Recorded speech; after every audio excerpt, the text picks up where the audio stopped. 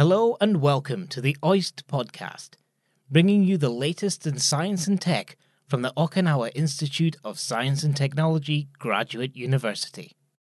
This episode, we're looking up into deep space as I'm joined by astrophysicist Dr. Samaya Nissanke of the University of Amsterdam's Center of Excellence for Gravitation and Astroparticle Physics, or GRAPPA for short.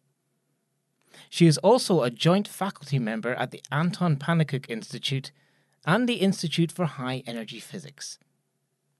Dr. Nissanke was recently a guest speaker at OIST, where she lectured about conducting a scavenger hunt on a truly cosmic scale.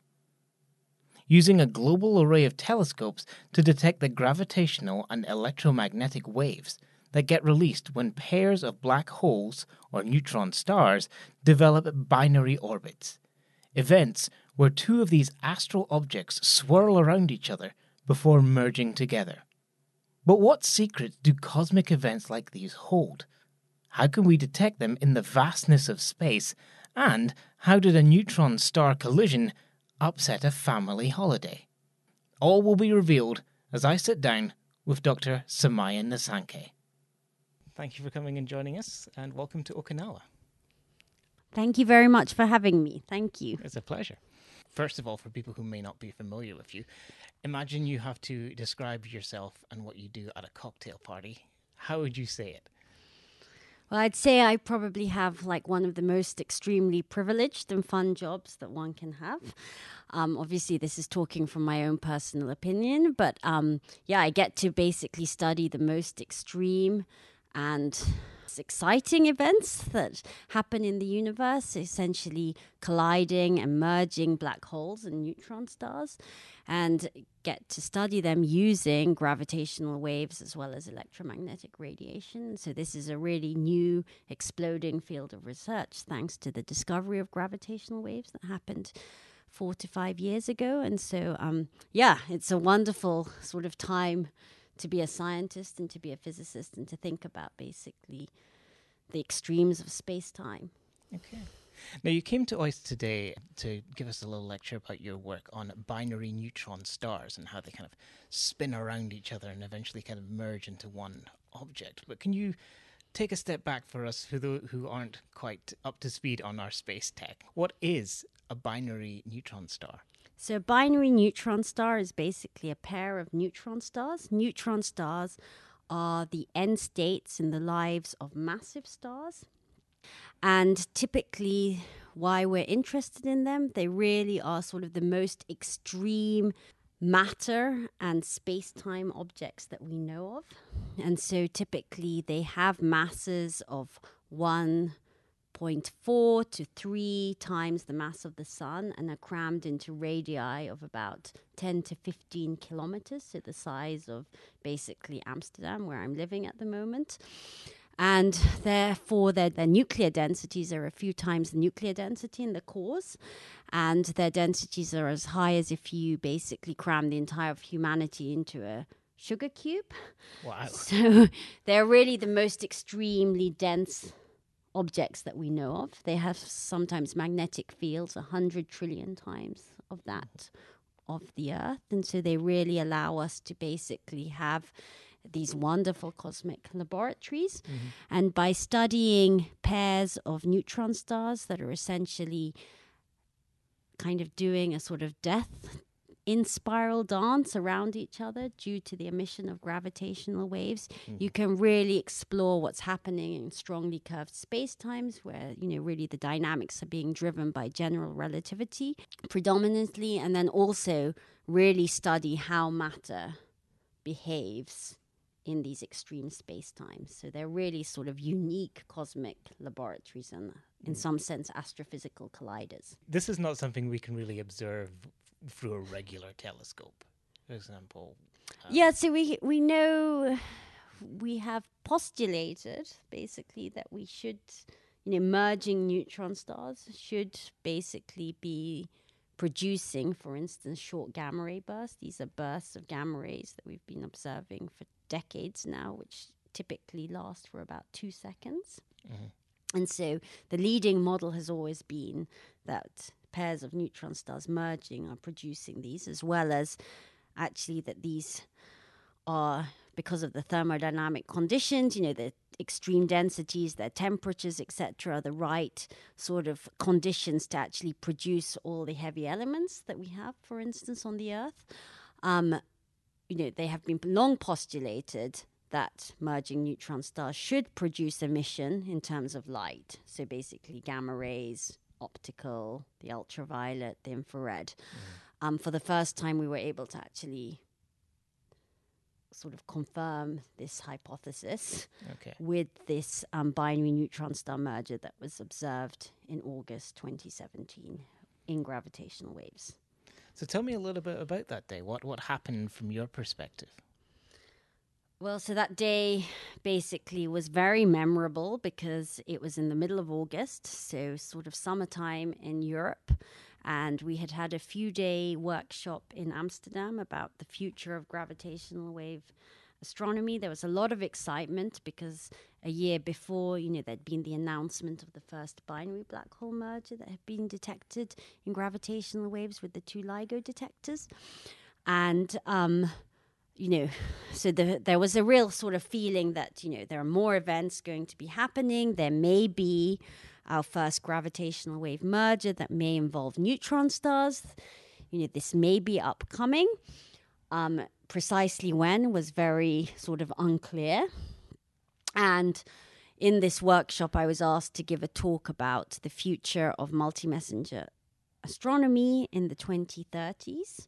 And so when I gave stood up to give this talk, I said we have to talk about what you know what will be the state of sort of multi-messenger astronomy in the 2020s. So by multi-messenger, I'm saying where we can observe both the gravitational wave and electromagnetic radiation from merging black holes and neutron stars. And I made the claim that there would be several of these mergers occurring. Um, in the 2020s, and several people put their hands up and said, "Oh, this is you know very optimistic."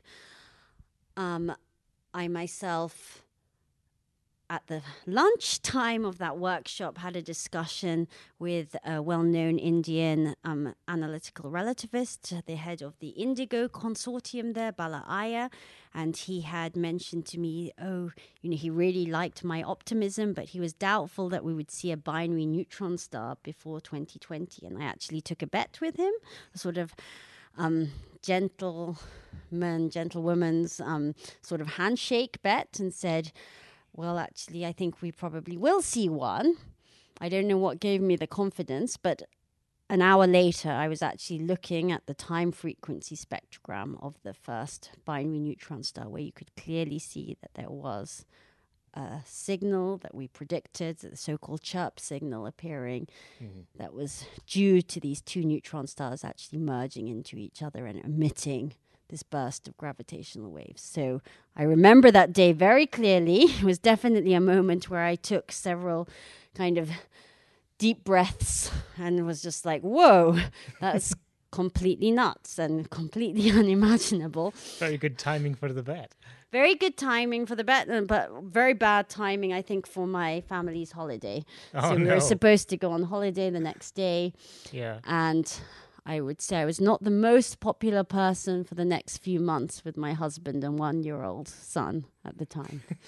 I'm sure they'll they'll forgive you in time once they realize the cosmic significance of it all.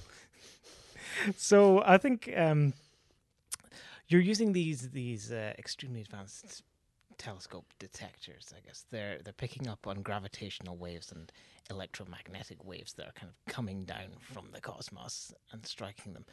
Um, what what is the kind of broader significance of that in terms of our exploration of space or our exploration of physics? What does this mean in the the broader term? What questions are you trying to answer? Um, so I think there's a variety of questions that are now being kind of posed as well as we're able to actually answer by having these kind of em- empirical measurements and interestingly they're happening sort of in several diverse fields so i would say we can use these neutron star binary mergers as well as neutron star black hole merger systems basically as standard rulers in some sense to um, map out the local expansion history of the universe. So, using these as kind of cosmological probes. Um, this is one very interesting avenue. The second interesting avenue is in nuclear astrophysics. So, understanding how heavy elements are produced in the universe, I think, is obviously, you know, a central question that has been driving kind of understanding yeah, where we come from, this very central question. So, nuclear astrophysics, as well as understanding, for instance, the equation of state of neutron stars, so what happens to extreme matter in extremely curved space times. Um, another question is obviously, you know, what happens to the, the in the death of basically pairs of massive stars. So, understanding how most massive stars that we know of exist in binary systems in pairs, basically. So, understanding what happens in the lives of these systems can be answered by looking at the end states, you know, how these systems are forming, how many, where they're forming, as well as just generally understanding the mysteries of high energy astrophysics phenomena. I've already alluded to things like short gamma ray bursts, but these have been really long standing questions over decades. Mm. You know, what actually causes, you know, these mist- at the time, and you know, in some sense, still quite elusive kind of highly violent, highly transient events. And so, really understanding things like how do relativistic jets form, accretion disk physics around black holes, even neutron stars. So, these are all questions that are being um, answered, and also just using these as sort of test beds for testing general relativity as well as just our standard model of physics, particle physics. Okay. So, it's a really big sky up there basically, and you alluded to this in your talk. There's so much out there that you could be pointing a telescope at, from like supernovae to like regular black holes to perhaps even just gas patches. And how do you find the needle in the haystack of these binary collisions? Excellent question. So I would say that there's been tremendous progress basically in the last 10 years. Not only have gravitational wave detectors actually come online, but in terms of traditional astronomy using sort of your optical telescopes or your radio telescopes that we've, you know, grown up with and grown to love.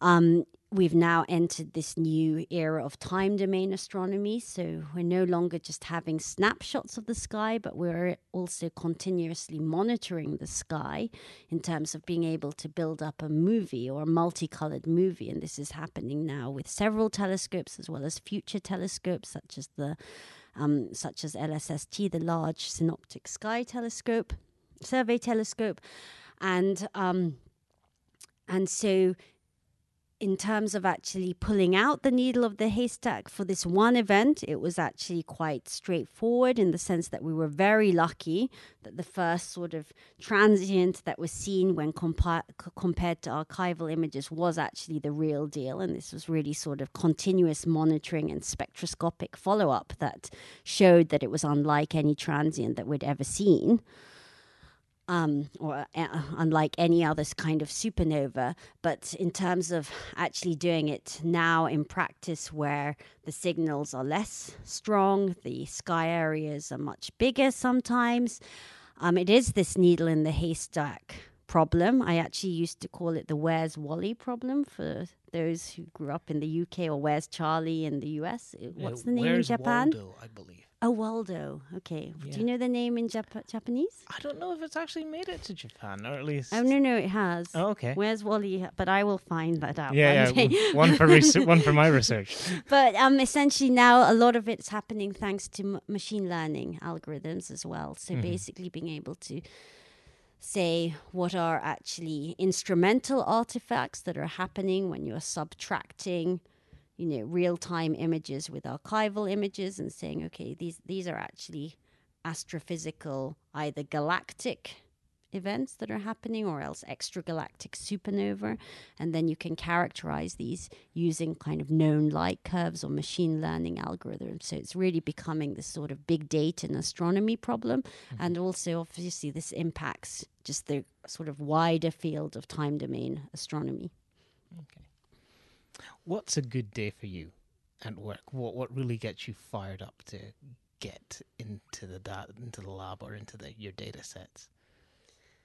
So, in the last six months, from the 1st of April 2019, the LIGO and Virgo detectors began their third science run. So, I would say what has kept me up a lot in the last six months are obviously the new, very exciting alerts that are being sent out. That for systems, particularly that may contain a neutron star. So, a neutron star. Neutron star, or in particular, I'm really excited about the prospect of a neutron star black hole merger happening, which we have yet to actually detect both in gravitational waves and electromagnetic waves. And so, I think for me, um, that is sort of the scientific aspect where my group will get inundated with messages from me about what's going on, what's happening, and updates from there, and also what are the interesting science that we can potentially learn. And then I think overall it's interacting with my fantastic group in Amsterdam. I have a wonderful group of um, postdocs and PhD students and master students, and definitely discussing science with them is, you know, the thing that I think get, puts a big smile on my face, and I feel just super, you know, super lucky and super enthusiastic, and especially on the way home on the train, I have a big smile on my face after those kind of days. Brilliant. So you kind of touched upon this a little bit, but I guess now that you've found this, the next step, I guess, is to try and locate. You said the neutron star uh, black hole merger. Well, can you describe it a little bit like that? What what? Hmm, what am I trying to say? Um, so I, I, guess for the neutron star black hole discovery space, I think it's going to be very exciting because these systems are, in some sense, more um, asymmetric than you know, two pa- a, a, pair of black holes merging, or mm. else a pair of neutron stars. You have a mixed system, a neutron star black hole, so there's more asymmetry. The black holes themselves may have significant spin, mm. so basically angular momentum, their own intrinsic angular momentum.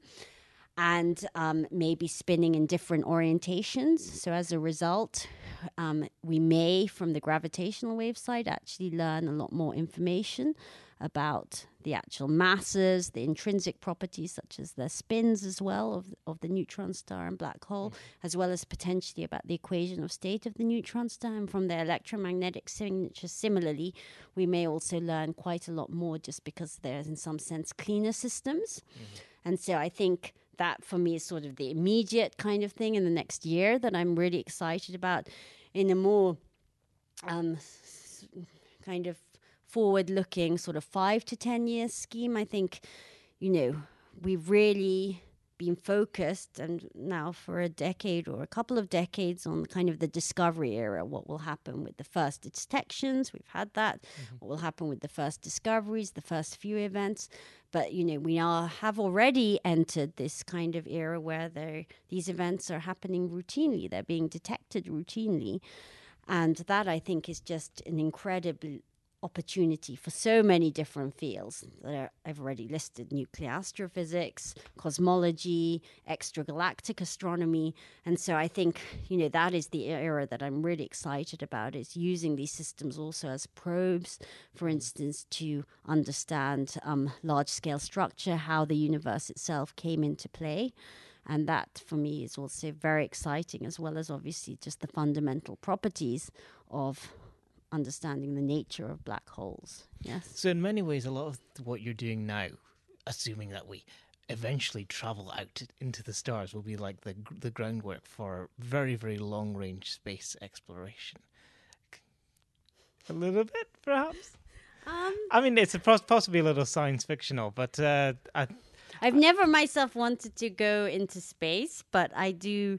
Yeah, I mean, I, you know, I think thinking about the universe, you know, it always does make you wonder at the incredibleness, mm-hmm. yes, of the universe. And so I think some, yeah. Just a little bit.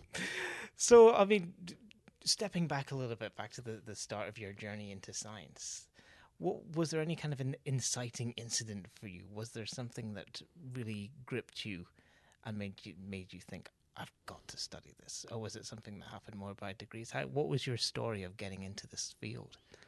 Um, yeah, I think firstly, thanks to my father, he was, um, yeah, he was really wonderful in terms of un- explaining to me about the solar system and things like this, and visiting museums and the planetarium, the science museum in London. I remember going to as a kid. I did a school project when I was seven on pl- the planets in our solar system. I remember that. I was like, wow, this is so fascinating, and just being completely excited. Um, I really loved mathematics. So actually, I wanted to be a mathematician when I was growing up. Um, but about the age of 16, when I went to high school, um, I was incredibly fortunate to actually have physics teachers that I'm still in touch with, high school teachers, and um, who were just fantastic, inspiring. They made, you know, studying physics, I think, just such a joy. And I did a summer project on, I think, the mathematical models of the universe. And from that instant on, I was like, I really want to become an astrophysicist. I really, really would love to be able to spend my time studying the universe. And so I think that, yeah, from the age of about 16 to 17, you know, I was incredibly fortunate to have found something that I just loved doing. Mm-hmm. Excellent. Now, 2019 it may be, but we're still very, very far behind in creating a level playing field in terms of gender equality in the STEM field. And I just wanted, you know, to get your opinion on what the state of things are now and how you think we could perhaps improve things in the future. Um, yeah, I think that's a really important question. It's very clear um, to me, especially now that you know having kind of excellence in science and in physics and creativity comes from having a diversity of different minds, different backgrounds, and different um, scientific questions. I think are posed by having a diversity in terms of scientists. And so it's not only actually gender kind of equality, I think, that I find see as a challenge, but also other kind of underrepresented minorities in physics. I don't think we do a very good job at all. Um, and maybe even worse because there's still some kind of reluctance and hesitation to discuss you know certain aspects where i think we are not doing so well in terms of underrepresented minorities mm um, especially in Europe. I see that. Um, but I think the at least on the gender front, we, you know, the good thing in the last 10, 20 years since I was a student myself has been that the discussion is very open now and that also there are now quantitative studies and that, you know, I think universities at all levels are very engaged in trying to address the issue of gender equality in STEM. And so as a result of this sort of awareness, increased awareness, you know, there are now very interesting initiatives where the kind of prevailing view before had been that, you know, you have to hire maybe a few more women, professors, and faculty, and somehow the system would automatically, you know, find a solution. Yeah. We now know actually, yes, that may happen on the sort of decades long time scale, but in terms of addressing it in kind of the 10 year time scale, you know, we need to actually be much more active. And I mean by we, I'm talking about both men and women, um, physicists at both the senior and the junior kind of level, is really ensuring that at the high school level, at the, you know, university level, as well as not just doing PhDs, but going on to the postdoctoral level, where I see a, a often a very um, big leaky pipeline happening is that we have sort of sustained mentoring, sustained um, support, I think, both on a practical as well as on a professional kind of mentoring level.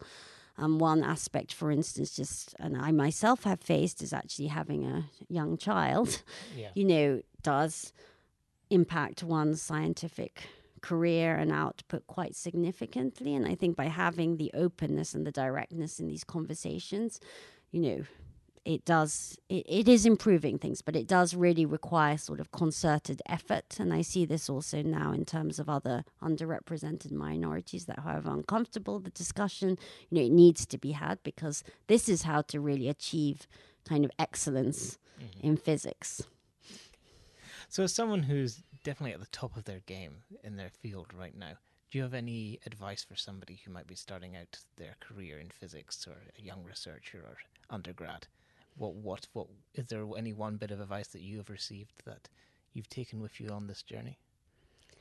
Um, so I think on a very basic level, I think the most important thing is to always remember the love and fascination that you have in physics or in science. You know, we get a lot of um, there's a lot of discussion now about how hard it is to you know find a kind of career or permanent job in science but i think it's really important just to remember kind of the general joy of doing science of asking questions um, one piece of advice i would be is or i would have is to um, really say never stop asking questions. Yes, however basic they may seem, they're not. Yes, always go back to just, you know, your scientific curiosity. What you know, what I think made makes a lot of people go into science is just this question that my three-year-old is now becoming very good at, just saying why, why, why, almost several hundred times a day. but it is true. I I am beginning to once again remember. Yes, that was how I was too. You know why? Why does this work? Why does this mm. happen? Um, Our so- whys become more sophisticated. our whys become more sophisticated, but at you know at the kind of fundamental level, they're the same. yeah. So to keep that. Secondly, I would also advise to um, seek out mentors. I was really fortunate that not maybe in my own field, but in other fields of astronomy and cosmology, I had the privilege um, and the good fortune to meet really impressive um, both women and men um, physicists and scientists, and many of them, well, several of them, really had a defining impact on my own view of my career. I think, you know, there were several times before gravitational waves detect were discovered that, you know, it was looking very unclear as to whether I would find a permanent job doing gravitational wave astronomy. And I think determination Yeah. is also very key. Yes, do not kind of lose hope and love what you do, I think. And also, um, yeah, sometimes research is tough. Yeah, there will be months sometimes where you are just stuck and it's really frustrating and you know you get you feel a bit a bit you know down in the dumps and but that is part of research. And then obviously they're completely compensated by the moments where you know you suddenly understand something or you observe something or you just see you know you make empirical measurements for instance in this case of binary neutron stars merging and it's just absolutely incredible. Yeah. Brilliant. And just to wrap us up, I like to ask this of people that we interview. Um, is there a question that you really wish someone would ask you? And if so, what's the answer to it?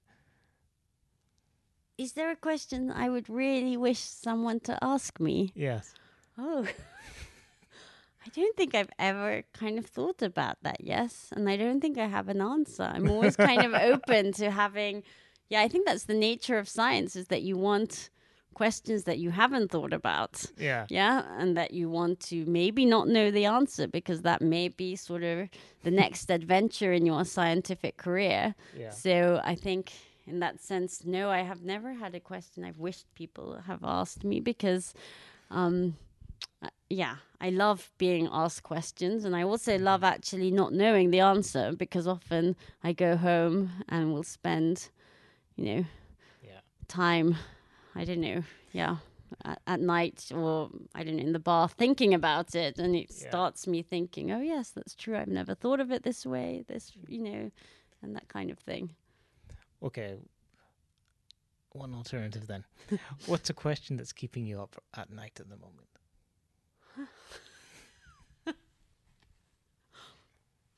Um, what's the question that's keeping me up at night at the moment?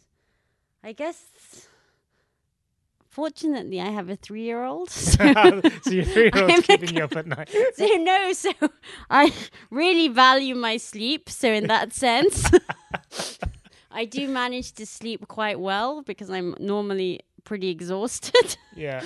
after a couple of years of sleep deprivation. But um, yeah, I guess you know, do we ha- do we understand physics? You know, things like general relativity, um, the standard model of physics, particle physics, um, things like lambda, CDM, our cosmological model of the universe. You know, there are kind of interesting suggestions and hints that you know, we don't have a complete picture. So I think, you know, what's exciting is to think about how gravitational waves may play a role in answering some of these questions. So I think those are probably the things that I do like to think about, just taking a few steps back from kind of my everyday job. Okay. Right. So just about to wrap up, but is there anything else you'd like to talk about? Um, yeah, I, I think essentially, you know, I'm really, ex- I've been delighted to be visiting OIST. I mean, my mother is Japanese, so for me, it's a real privilege to, whenever I come back to Japan, where I spent many, many summers growing up, to um, come and visit Japan professionally and also to see what's happening at places like OIST, where there's just um, such vibrancy and dynamic kind of interaction. The students and postdocs that I met at lunch were, you know, really fantastic and open, and so that gives me, yeah, I think that really, um, as someone who's half Japanese, I really see, you know, the scientific environment in Japan, thanks to places like OIST, is really also changing and um, very exciting for the future of science. Samaya Nissanke, thank you very much. Thank you. Thanks for listening to the podcast. It was recorded and edited by me, Andrew Scott. Special thanks to Dr. Samaya Nissanke and to Professor Reiko Toriumi. If you enjoyed this episode, why not subscribe to get more as soon as we release them? And we always love to read your reviews, so why not let the world know what you think of the show? You can also find us on Facebook and Twitter, or send us an email to media at oist.jp. Thanks again for listening. See you next time.